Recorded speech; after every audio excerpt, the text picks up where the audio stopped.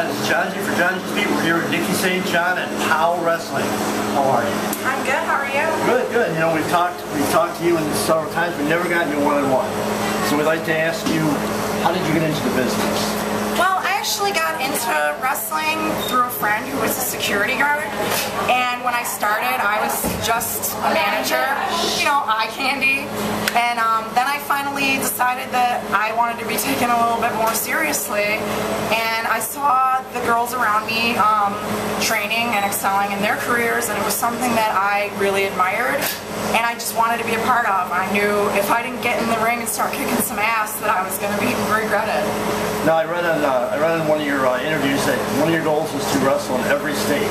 Yes, it is. How is that going? It's going pretty good.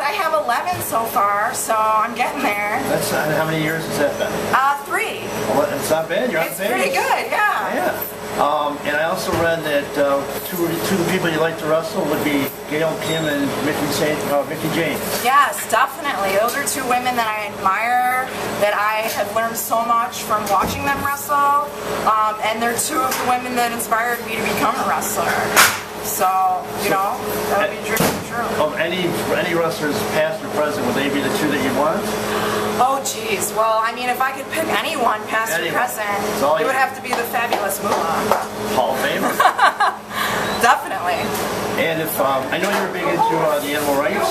Yes, I am. Actually, I work. Uh, I do charity work for the Animal House Shelter in Huntley, Illinois. It's a non-for-profit, no-kill dog and cat animal house shelter. So it's a, a great thing. You know, we're just trying to help the animals find a home, and the ones that we can't get homes for, just get them out of the bad situations that they are in. Great cause, we support it highly. thank you. Now, if your fans want to find out more about you, where should they look? Well, you on Facebook and under Nikki St. John.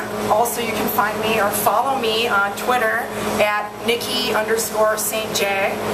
And um, you can also check me out on Instagram and Pinterest, also under Nikki St. John.